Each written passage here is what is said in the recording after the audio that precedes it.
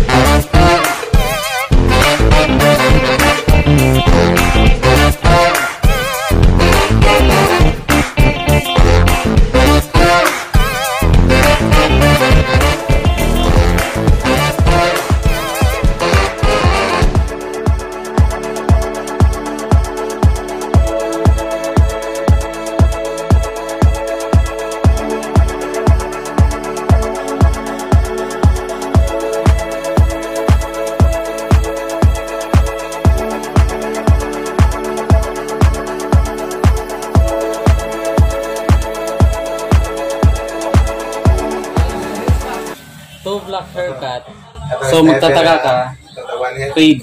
And yung proseso niya is two black haircut. Undercut dito. Pero sa original na two black haircut, hindi siya naka-fade. Medyo makapal. Naka-trim lang siya. So yung request ng customer is i-fade natin. Pero yung proseso niya is two black haircut, undercut dito, and then sa likod walang undercut. Agad lang dito. Ayun. Pero ito, maiksi buhok niya, pinaliwanan natin sa customer na maiksi yung buhok niya. Medyo litaw yung pagka-undercut niya. Medyo maiksi pa siya. Pero okay naman, nagustuhan ng customer.